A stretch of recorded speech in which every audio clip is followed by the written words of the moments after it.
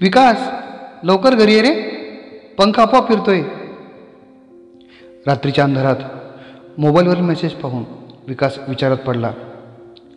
त्याने कोमलला फोन लावला. कोमल त्याची बायको होती. आताच लग्न झालं होतं. म्हणजेच काही दिवसांपूर्वी. नवीन उत्साह नवीन संसार. त्याने घर घेतलं होतं पण थोडं गावाबाहेरच. कोमलला ते आवडलं नव्हतं. तिची इथे थांबायची तयारी अजिबात नव्हती. त्याने फोन केला पण फोन लागलाच नाही. घड्याळ बघितलं. रात्रीचे बारा कधीच वाजून गेले होते. तो कसाबसा घरी पोहोचला. पाहतो तर दार सताड उघडं होतं. सत्ताड उघडं. घरात सर्वत्र अंधार होता. त्याने कोमलला आवाज देत देत लाईटची बट्ट दाबली पण लाइट लागत नव्हते. मोबाईलचा टॉर्च चालू केला. त्या प्रकाशात तो कोमलला आवाज देत देत पुढे सरकू लागला. आतल्या रूममध्ये मोबाईलचा प्रकाश पडला आणि त्याच्या पायाखालची जमीन सरकली.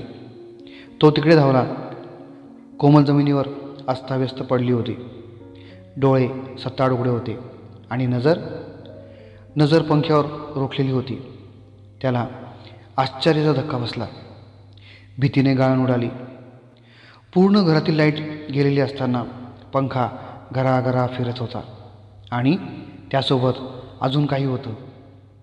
अजून काही जे समजण्यापलीकडचं होतं. पण अगदी स्पष्टपणे जाणवत होतं. विकासला थंडगार घाम सुटला. तो तिथेच फतकल मारून बसला.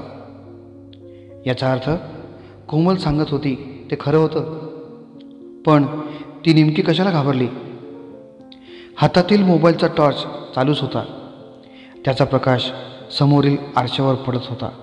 आणि आरशामध्ये पंख्याचं प्रतिबिंब आणि पंख्यासोबतच तेही फिरत होतं जे विकासचा वेध घेत होतं. विकासच्या छातीत कळ उठली. सणक हृदयापर्यंत गेली. त्याने छाती गच्च आवळून धरली. नजर पंख्याकडेच होती आणि काही क्षणात विकासही जमिनीवर आळवा झाला. डोळ्यात एकच प्रश्न होता. जे बघितलं ते नेमकं काय होतं? आणि आपण नेमकं काय चुकलो?